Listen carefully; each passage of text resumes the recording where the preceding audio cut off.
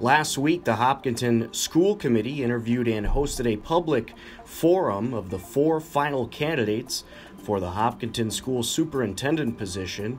The four candidates include current Assistant Superintendent of Schools in Southborough and Northborough, Gregory Martineau, current Assistant Superintendent of Franklin Public Schools, Peter Light, current Assistant Superintendent in Hopkinton, Dr. Carol Cavanaugh, and current Superintendent of Uxbridge Public Schools, Kevin Carney.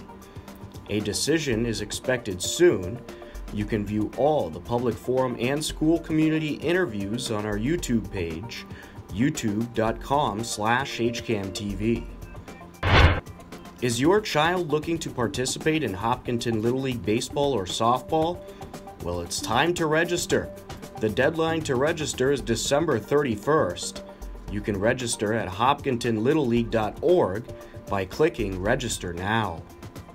This beautiful picture was taken by our own Mike Terosian, and it's a pic of the town common after our first snowstorm of the year, dropping six inches of snow throughout the area.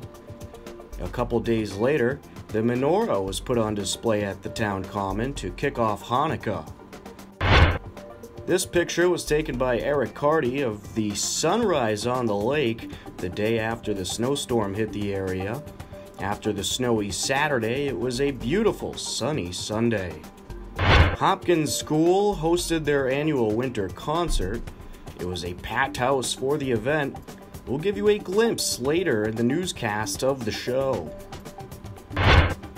Despite snow hitting the area last Saturday, Boy Scout Troop 1 kept busy selling Christmas trees and wreaths.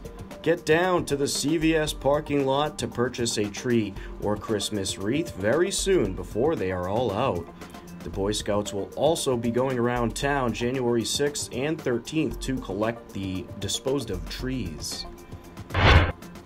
The Middlesex Sheriff's Department welcomed 34 new corrections officers this past week. A ceremony was held for the graduates from its 41st Basic Training Academy at the Lowell Memorial Auditorium.